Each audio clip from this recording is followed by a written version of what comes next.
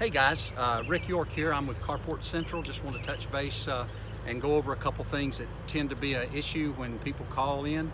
Uh, everybody needs to get their ground level. That's one of the first questions that comes up is how do I do that? So what we're going to do is going to create a little short video just to show you what's going on.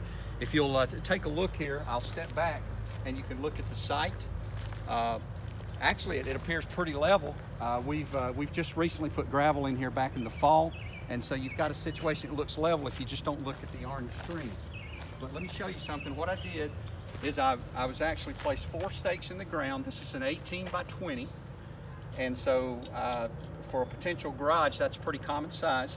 So what I did is I put four stakes. I went to down to Lowe's or Home Depot and I got some masonry cord. We've got about seven, eight bucks invested here. So this is something that's truly important because if you're gonna get your building inspected, um, it has to be level, and of course, it's just going to make it more user-friendly if it is level for, you know, even if it's a non-certified building. Uh, so, if you will, Jody, uh, let's take a look here. I'll show you. At this point in the front, it is six and a half inches, okay? So going backward, we're gonna face the building, the potential building this way. So going backwards, we come down here, and as you see, the, the ground has a lot more drop than you would anticipate so down here, we're at um, almost 18 inches. Now I've already leveled this up, but I'm gonna show you what a bubble level looks like here shortly. If you'll follow me this way, go to this lower corner, we can look at the bubble level and I'll show you how to adjust it to get it level.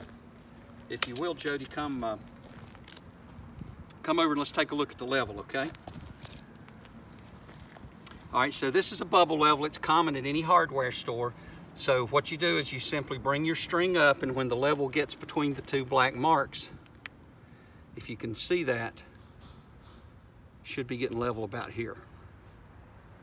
There we go, okay? So at this point, we're level, so we're also 19 inches off the ground. So this particular potential garage is 19 inches on the back side, and if you follow up back to the front, it was six inches off of the front corner. Or about seven inches here. So what you could do, uh, we can build on any level surface. We use ground anchors if it's a ground install.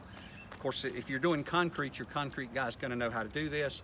There's also a, a more sophisticated way to do this with uh, technology, but this is the old school way to do it. So you've got six inches to 19 inches, so we just wanted to show you how important it is to, to get a building uh, level and have the site ready before we get there because we do no site prep. And uh, one more time, Rick, those four steps on what we did here. Okay. We got four posts.